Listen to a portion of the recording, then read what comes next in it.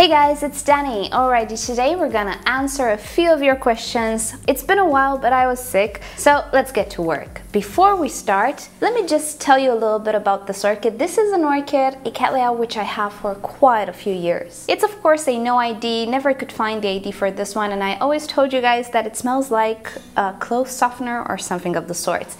Well, I smelled her this morning as she's just starting to release her fragrance, and I know what it smells like. It smells like freesias. And I know this because I had a lot of freesias uh, this spring, which I did not film. I'm so sorry, you guys. But I had a lot of variety with the freesias, and some of them smelled exactly like this orchid. So yeah, the red cattleya smells like a freesia. And I'm sorry that I don't have an ID, but if you ever see her in stores, flower shops, or garden centers, she's a commercial hybrid. Now you know she is fragrant and she is quite lovely. And the fragrance is absolutely delightful. Alrighty, let's get to the questions. So let's start off with Erica's question on yesterday's video and she's asking if I drained, oh sorry, if I drilled drainage holes in my transparent pots and yeah I think I mentioned it did I forget to mention in the video I'm sorry if I forgot but yeah I do have drainage holes as you can see and two of them will be used by the wick and the other ones are just there to catch whatever water vapor evaporates. Some of the pots with the Cattleya seedlings also have some side ventilation holes because I reuse them. I had these pots with my, I think, Vanda seedlings. I use the pots as baskets so they do have ventilation holes as well, but it doesn't matter. I'm not keen on making ventilation holes. Um, so yeah, I do put drainage holes at the bottom. It's not like the semi-hydro setup. And to also answer Paul Saunders' question regarding these pots, what is the diameter and height of the pots? What are they called? Where did I get them? Um, again, did I forget to say it in yesterday's video? I don't even remember. Uh, these are store-bought. You go to the grocery shop and you find little containers like these, which are for microwave reheating only. That's what it says on them practically they're food containers. This is food safe plastic, it's polypropylene, and I buy them in bulk, one euro 30 for five or six of them, something of the sorts. I don't know the brand. I really don't, Melo, I think this is how it's called. Hold up, let me see if I still have something sealed from them. Okay, so here's the brand. I think it's called Melo and it's made in Greece, I think. Who knows? Uh, but it's a Greek company, I think either Cypriot or Greek. I find them in uh, supermarkets here. I don't remember the size of this guy. This is something else. It's a taller container. So let's guesstimate. I would say it's around 13 centimeters or 12 centimeters uh, diameter. It goes into a little bit of a cone shape and the height maybe 7 centimeters or so. So it's pretty similar to a standard Phalaenopsis pot, maybe slightly, slightly narrower, but not as tall. And these pots, I think I have the dimensions of these. These are made in Italy, round lux 11 centimeter. Oh, okay, so this is 11 centimeters, meaning this one might be 12 because it sits on top. Angela is asking if I think microfiber would wick just as well as Synthic. Didn't I mention this? What type of video did I make? I think I mentioned it at some point, yes. An absolute dupe, if you will, for Synthic, a better one that is, is microfiber. You can absolutely use it. Remember I had my Vandas in microfiber? Yeah, it works great and it wicks all the time. Even if it gets dry and you wet it, it wicks. It doesn't repel water at all, so absolutely you can go ahead and shred some microfiber cloths if you want to make a wick out of them. It works beautifully.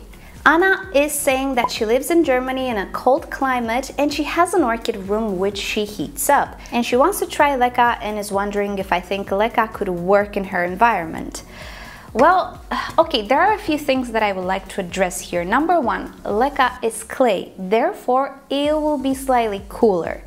But why is it cooler? We need to know why this happens. It's because of the evaporative cooling. The faster the water evaporates, the cooler the leca will be. If water doesn't evaporate, leca just sits at room temperature. If leca is dry, it will not be cooler than the environment. It needs to be wet and evaporating that water to be cool.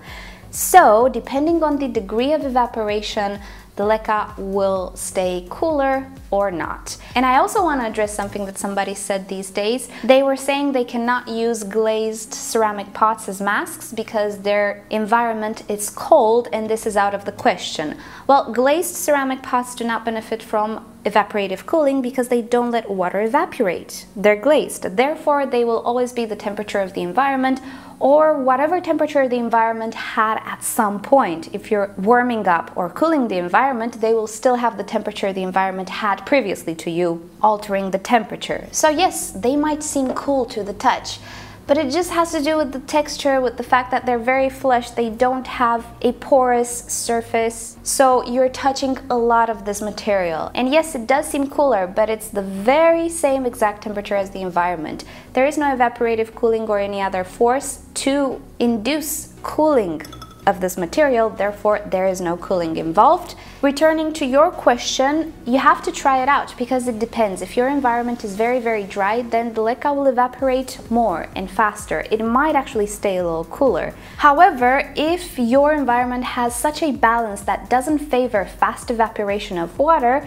maybe the leca will not stay as cool. In the end, you know what you can do if you find a little bag of leca to experiment with. First of all, do not pot any orchid in it. Just make the setup as it were with an orchid, just don't pot anything and get an aquarium thermometer and simply measure the temperature inside or if you want just feel it with your hands. If it's very very cold you'll feel it and just see how fast it dries, how cold it stays and if you want to try it out with an orchid but you don't want to risk any of your orchids, go to the store, find a mini Phalaenopsis or even a normal Phalaenopsis, maybe a discounted one and try it out with that one.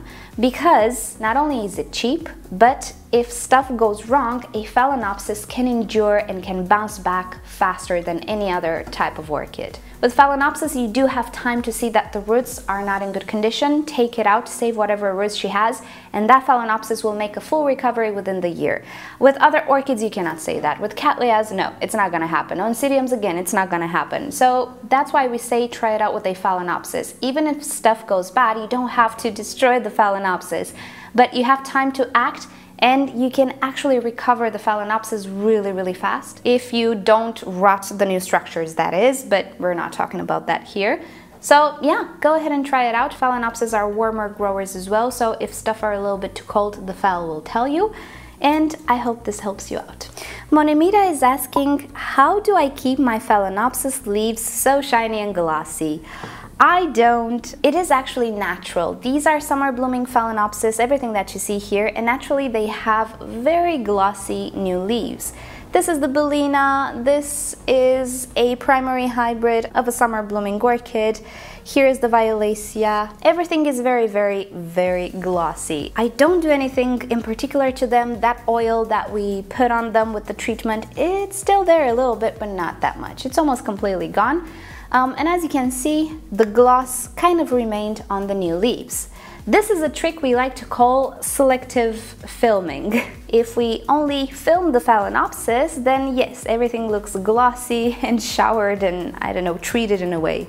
But if we film something else, the story kind of changes. Nothing is glossy anymore because these orchids naturally are not as glossy as Phalaenopsis orchids.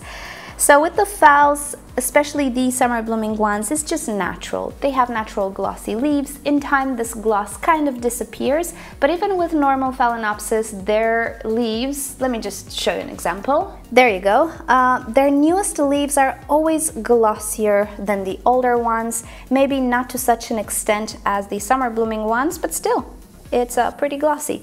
So um, I don't really do anything. I sometimes shower them when they're extremely dusty, but I don't do this very often because I actually risk water getting trapped in the crown and in between the leaves and rotting these structures. So if you will, it's a camera trick. Only Phalaenopsis are these glossy. I don't think I have any other orchid which is as glossy.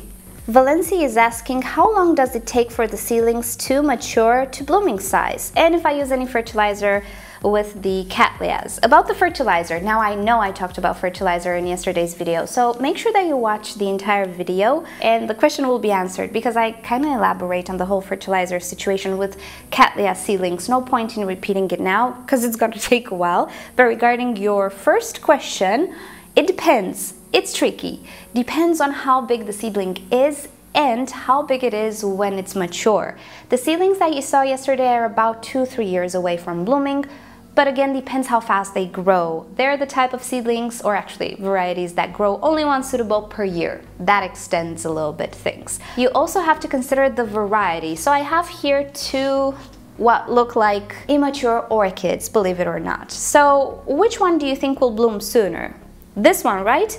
Maybe not. Because you see, this is a Cattleya walkeriana or valkeriana, depends how you want to pronounce it. Different people around the world pronounce orchid names in many different ways and they're all correct. Don't worry about it. So this is naturally a small type of Cattleya and even if this is a very young plant, I don't need to wait for it to produce a very large pseudobulb in order to be able to bloom. This one can actually bloom by the end of the year. It doesn't have sheaths, it doesn't have buds on top of the canes. Well, the Valkeriana produces spikes from a different growth which arises from the base. But because she's a small cattleya, you can have the surprise to have blooms even next year. This one, on the other hand, looks bigger, but at maturity, this plant is a lot, lot bigger. If the orchid at maturity needs to be around 40, 50 centimeters in height, and you have an orchid looking like this, which produces only one pseudobulb per year, oh, you have around two to three years ahead of you still. The purpurata that I had was actually in this situation, because these pseudobulbs need to grow twice as big as they are. And since it only has one pseudobulb growth per year, you know, it can take two to three years. So size can be deceiving at this point. You have to know what variety you have and the growth pattern of that variety. If it ever has been set back and things of the sorts, it's very variable, but usually everything takes around two to three years if they're proper seedlings, but it can take more than that if you stale the orchid. Sophie is asking if I can help the Masdevallia that has a little black spot on the crown and if I know what it is. Well, first of all, um, what is the crown of the Masdevallia? I will guess because Masdevallias actually don't have crowns, they're sympodials. But I will guess it's somewhere on the leaf.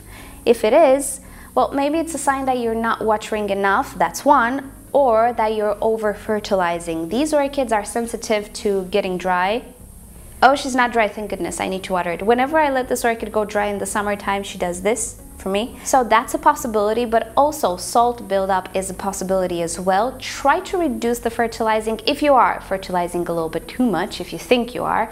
Reduce a little bit the fertilizer situation maybe to half or to a quarter. Also try to use more pure water. If your tap water is pretty high in mineral salts, you might want to go for distilled water with added fertilizer. These orchids are a little sensitive to just uh, being dry, being too hot, having some salt build up. They're slightly finicky. So do look into these potential factors and try to improve a little bit where you think you could improve. And the last question for today, Alan is asking if I can make a video about my other plants too.